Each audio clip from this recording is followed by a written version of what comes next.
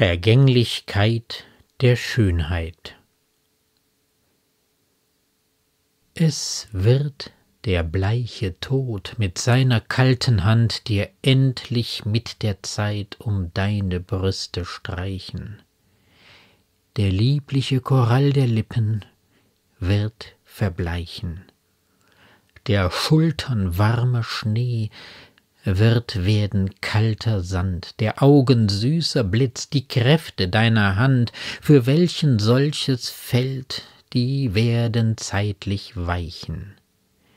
Das Haar, das itz und kann des Goldes Glanz erreichen, tilgt endlich Tag und Jahr als ein gemeines Band.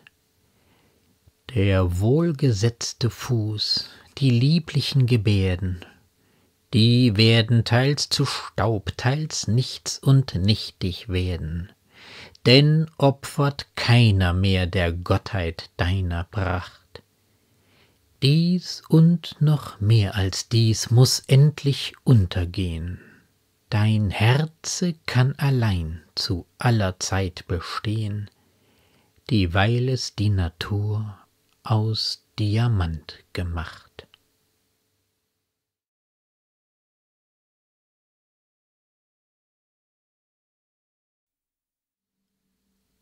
Auf den ersten Blick scheint es ein üblich barockes Vanitas-Gedicht zu sein, das uns, genauer je die angesprochene Frau, an die Vergänglichkeit erinnert und damit allgemein an die Nichtigkeit des irdischen Daseins. Auf den zweiten Blick enthält es eine raffinierte Bosheit. Es scheint die trotzige Botschaft des bisher erfolglosen Verehrers, der vor allem körperlich begehrt. Es wird der bleiche Tod mit seiner kalten Hand dir endlich mit der Zeit um deine Brüste streichen.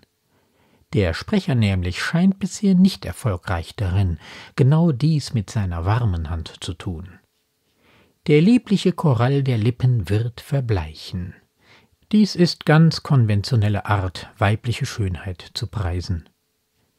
Der Schultern warmer Schnee wird werden kalter Sand. Weiße Haut ist das Schönheitsideal, darum der Schnee. Die Körperwärme macht diesen doch eigentlich kalten Schnee warm, während der Tod den doch im Vergleich dazu eher warmen Sand erkalten lässt. Der Augen süßer Blitz, die Kräfte deiner Hand, für welchen solches fällt, die werden zeitlich weichen. Der süße Blitz der Augen fällt zur Zeit noch vor die von Leben starke Hand, so ist das Bild wohl zu verstehen, aber die Zeit wird beides verschwinden lassen.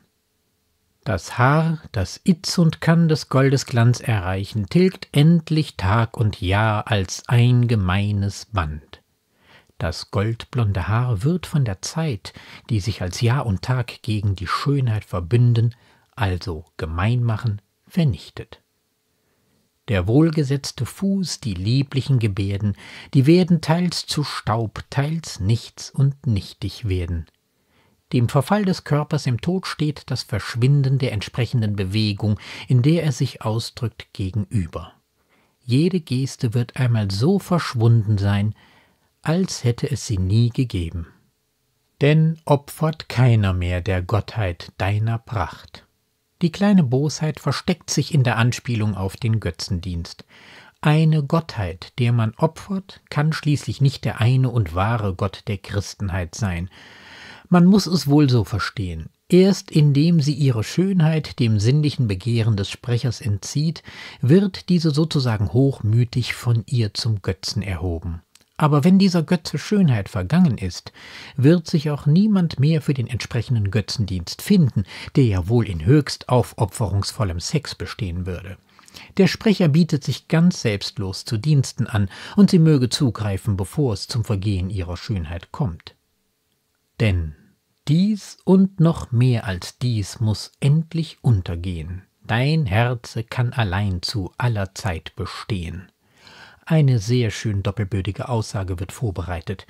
Es klingt zunächst nach dem schönen Versprechen, dass die innere Schönheit, die Schönheit des Herzens, bestehen bleibe. Dieweil es die Natur aus Diamant gemacht.